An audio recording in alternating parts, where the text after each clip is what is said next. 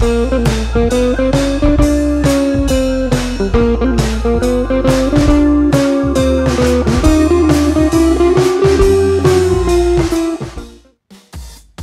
esta ocasión una preparación bastante sencilla que te quitará cualquier antojo que tengas. Empezaremos con la base que es una masa básica de crepes. Mezclando primero los líquidos con la sal y el azúcar.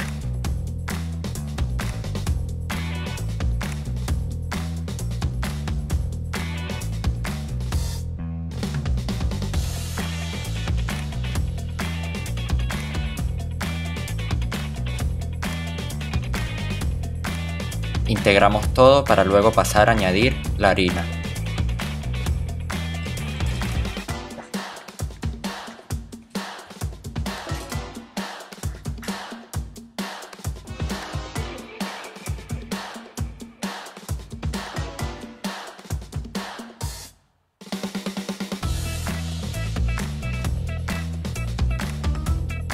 Esta es una preparación bastante simple que puedes conservar en la nevera por 2 a 3 días. Pero lo mejor es que la prepares al momento de 5 a 10 minutos antes de preparar tu crepe.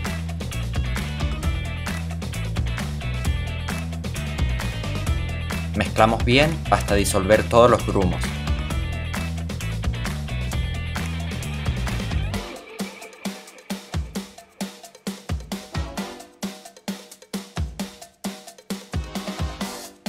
Debe ser más o menos la consistencia que debe adquirir la masa.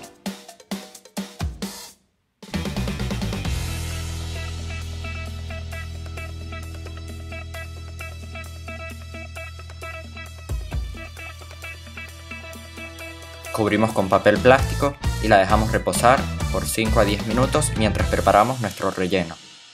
En este caso un relleno de manzanas, un poco ácido y dulce que va a ir perfecto con nuestra masa, que la verdad es de un sabor bastante neutro. Para ello lavamos la manzana y la cortamos en cubos. Este es más o menos el tamaño que voy a utilizar.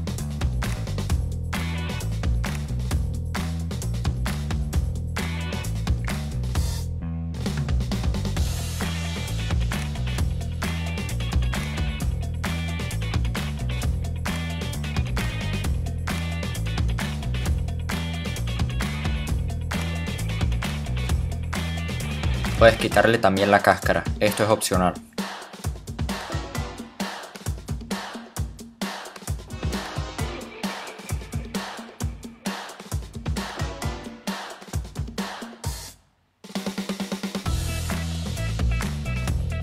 Dejando la cáscara se va a hacer la mezcla un poco más cremosa.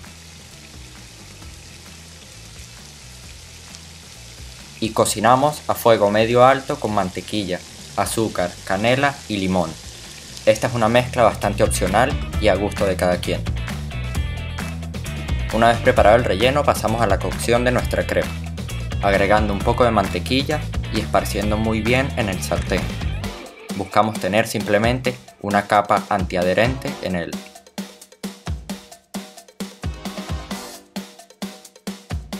No coloques demasiado aceite o la masa no se pegará bien al sartén y no se cocinará bien.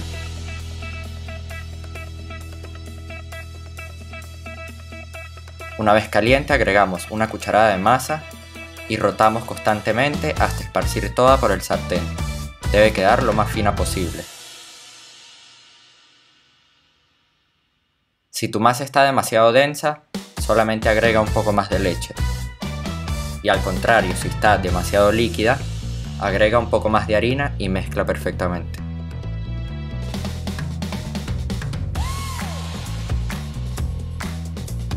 Cocinaremos la crepe alrededor de 2 minutos por lado.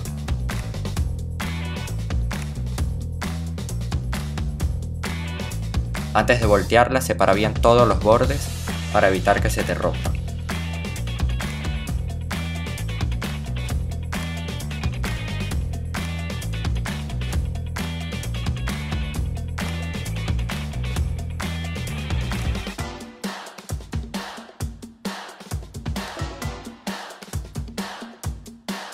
Una vez la hayamos volteado, podemos proceder a agregar nuestro relleno.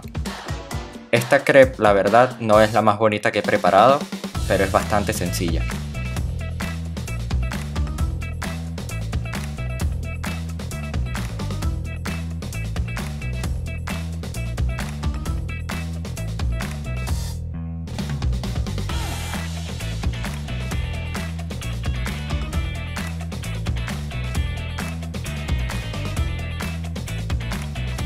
Acá la verdad puedes rellenar la crepe a tu gusto y darle la forma que tú quieras.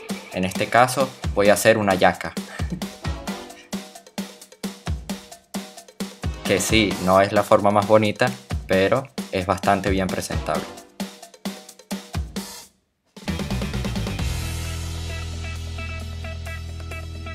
Hay muchísimas formas de doblar la crepe. Triangular, en forma de flauta,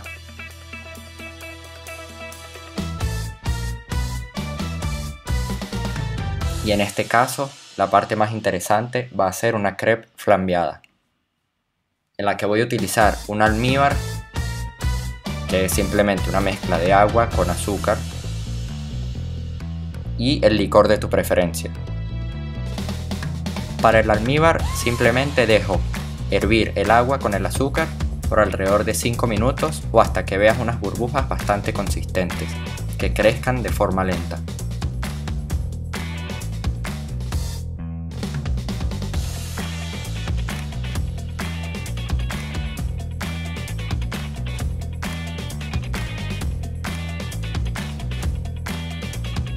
Este punto agrego la crepe y mezclo bien para que se llene toda de almíbar. Y pasando a la parte interesante, añadimos con cuidado el licor. Lo acercamos a la llama y fuego.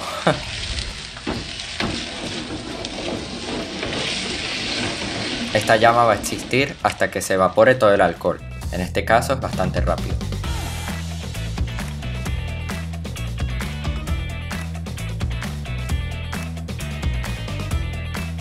Y para terminar simplemente bañamos con más almíbar y emplatamos. Si tu almíbar se vuelve demasiado denso, lo más recomendable es que agregues un poco más de agua. Esto quiere decir que se evaporó casi toda y que se va a volver más un caramelo. Para el emplatado simplemente sirve tu crepe y agrega más almíbar. Este también puedes cambiarlo a tu gusto, añadiendo canela o cualquier otro aroma de tu preferencia. Recuerda suscribirte al canal de YouTube, dejar cualquier sugerencia en los comentarios y buscarme también en Instagram como el Gocho Chef.